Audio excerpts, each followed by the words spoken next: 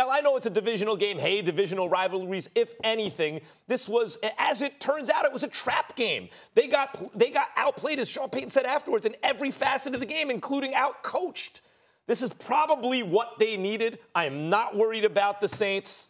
They'll be fine.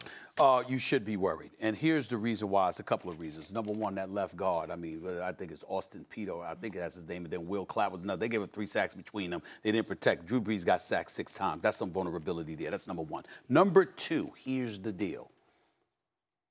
You can say they just took it for granted. Atlanta comes in the game one and seven, but these are the Atlanta Falcons. This is a team. This is the number one rivalry for New Orleans. You get up for this game. The fact that you did it in this particular situation, I don't give a damn what their record is. Who Dat Nation, all that stuff. There's, there's very little things that they love more than beating up the Falcons. I'm telling you that right now. It matters to those folks. I was at the, at the Super Bowl last year for crying out loud between New England and, and LA in Atlanta. Let me tell you something. You had a whole bunch of people rolling in, the, in Atlanta wearing Saints jerseys, and you had a whole bunch of folks in Atlanta that had major, major, major problems. That stuff is real down there. That's number two. Number three, what have we said about the New Orleans Saints? And I know it's Kamara game back. He only had about four carries for about 24 yards, something like that. Mm-hmm. He'll get it going. Drew Brees was dipping and dunking, couldn't make. Only threw one pass for about 22 yards. Outside that, wasn't really effective. Was missing throws. His timing was off, etc. We get all of that. But what is it that we say about New Orleans that we have to pay attention to? We believe in them because we believe that the road to the Super Bowl was going through New Orleans. That Mercedes-Benz don't. If it got to go through Lambeau Field, if it's got to go through San Francisco, I, I, mean, where the hell do they play? I keep forgetting where they play because it ain't in San Francisco. It's about Santa an hour. Clara, Santa, Santa Clara, Clara, right? Because I, I, had to drive it out in that yeah. damn traffic. It ain't San Francisco. You don't know where. You just I don't know where the hell I'm going. It's okay? a brand new and, stadium. And I know I'm yeah. passing Google or whatever. Yeah, yeah, is, yeah, okay? yeah, yeah. That I know, all right? Because I got stuck in that damn traffic. But I'm telling you right now, you got to go there. You have to go to Lambeau Field. Yeah you have a problem. And that's why this is a big deal. It's not a matter of it being a regular season loss earlier on. It's a matter of right now, when you know which teams are expected to be there competing for a berth to the Super Bowl, who has that home turf? Matters in most situations. If you Lambeau Field, why does it matter? Because you're expecting a blizzard, okay? If you and you got to deal with Aaron Rodgers in a blizzard. If you got New Orleans, you got to go to that dome, and you're wondering about that. It's been done. LA did it last year, but it's not easy if you've got to go with San Francisco with their defense and their running game, both both components, which is real, mm-hmm. it's a problem. New Orleans losing this game puts them in line not to have home turf, and as a result, I think that's where it's costing. Dan, can I ask you one thing? They've been the only sure bet we felt like this whole season. Obviously, we talk about parity in the yep. NFL, but really, I'm not trying to be cliche. Right. Are they even a sure bet now at this point as a lock to the Super Bowl? No. Oh no, not not because the NFC. We came into this season saying this was going to be the best NFL season in a long time mm-hmm. because of the parity. So no, they're not a lock. They're still one of the three or four best teams in the NFL. Stephen A. took my points because two things could be true. This is a brutal loss for them mm-hmm. against the Falcons when it comes to home field advantage. On a night when Green Bay and Minnesota won, it is a brutal loss. That being said, it is not a loss that exposes them or kind of shows their flaws or whatever. You know how many times Drew Brees and, and Sean Payton at home have scored less than 10 points? One. Yeah. Happened yesterday.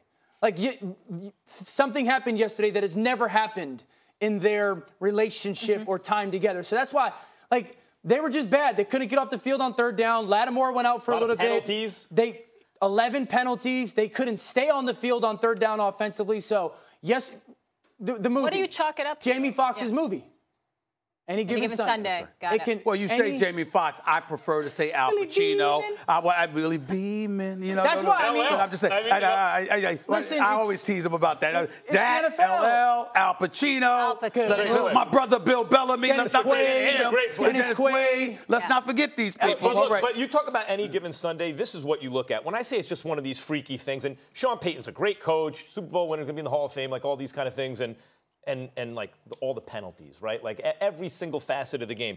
They were favored by 13 and a half. Yeah. yeah. They lost by 17. That is a swing of almost four touchdowns and a field goal.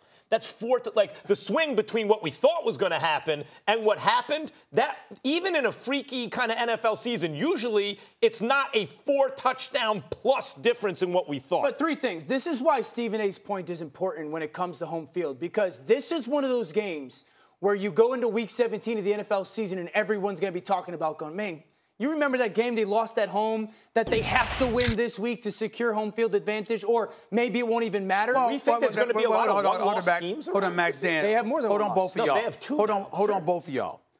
I'm gonna go to your point to buffer my point even more. Repeatedly, you have lamented the fact that it's two different Saints teams, one that's at home and one that's on the road. Because the Saints team that shows up on the road, particularly in pivotal games, isn't the same as the one we customarily see in that dome in New Orleans. So now we amp that up. What are we talking about? If you go to Green Bay, you're talking about, I'm not thinking about Minnesota because that's a dome, and even though it's a road game, it's still a That's dome. a I'll tough address what you're saying. But what I'm saying is, when you're talking about Green Bay, you're talking about inclement weather or freezing temperatures Mm-hmm. and having to go up against Aaron Rodgers with an improved defense. And if you're talking about going against San Francisco, we all know that when you look at New Orleans, even though we didn't suspect that they were susceptible to the run, they were susceptible to the run in the first half yesterday.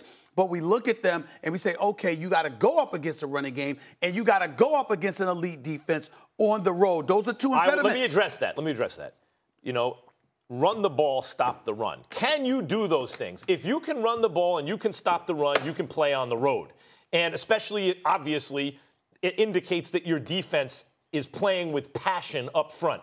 The Saints, as I re- have repeatedly mentioned over the last couple years, when I look at the dynamic offensive teams, the teams that are capable of putting up big points, the reason to like the Saints is among that group, they actually have a run defense.